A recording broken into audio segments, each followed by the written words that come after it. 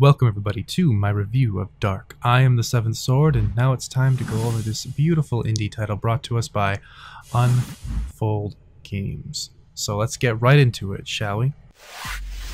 First, I want to go over presentation. This is an indie title, and it is a gorgeous indie title at that. The art direction is superb, the way they use lighting in the environments is beautiful, and the animations are just very, very, very well done.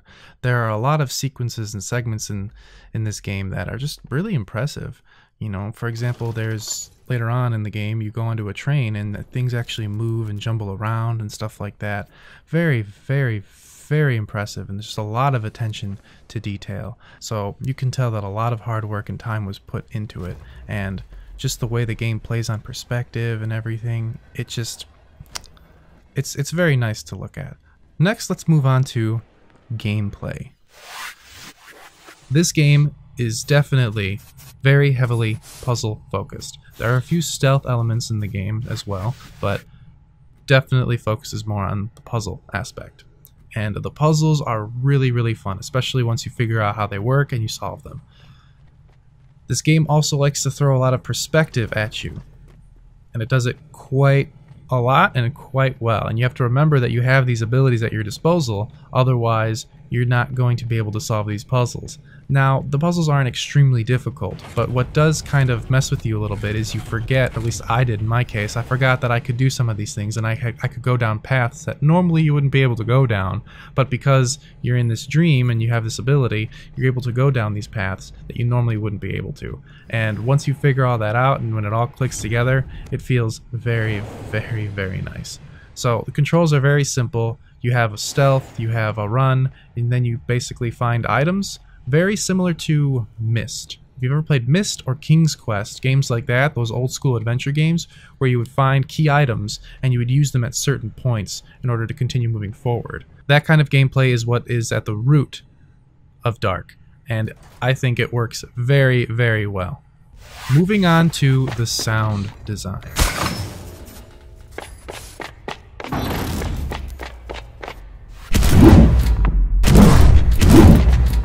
Now, the sound design in this game is extremely, extremely immersive. You feel like you are in this dream, you feel like you are experiencing this nightmare, and there are a lot of amazing sounds that I don't want to ruin for you. I'm trying to keep this review as spoiler free as possible, but you know, I have to show some of the game off. But there are moments and segments in this game where there are specific nightmares and specific sequences where the sound design is excellent excellent. I can think of one specific example that I don't want to say here, but to anyone who's played the game, I'm sure you know what I'm talking about. And uh, it's uh, it's really, really, really well done.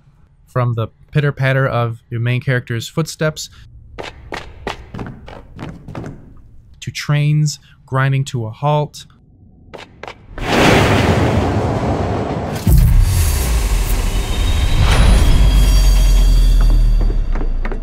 the sound design definitely helps immerse you in the experience and makes you feel like you are part of that world. Alright, so here's my verdict. I enjoyed DARQ thoroughly.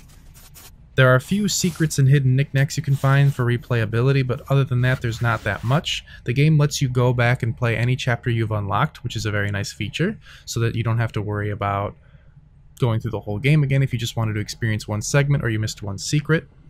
But I mean, it's a really, really great experience, and I recommend it to anybody who loves indie horror games, though uh, anyone who loves puzzle games. I mean, it's it's a it's a must it's a must buy, and I also have to give out kudos to the developer for turning down being on Epic Game Store. That was a very bold move, especially for an indie developer. When someone comes to you and they give you an opportunity to publish your title and they give you extra money or something like that, it's difficult to say no. So the integrity of the developer is definitely shown by his actions or shown by their actions. And you got to really appreciate things like that because there's somebody who had a vision for their game and they executed it the way they wanted to and they didn't sell out. And that's very rare these days. So, I mean, overall, game is fantastic. I recommend it to anyone who loves indie horror games and puzzle titles. Definitely, definitely worth picking up. All right. Thanks for watching, everybody. I hope you enjoyed my review, and I'll see you guys later.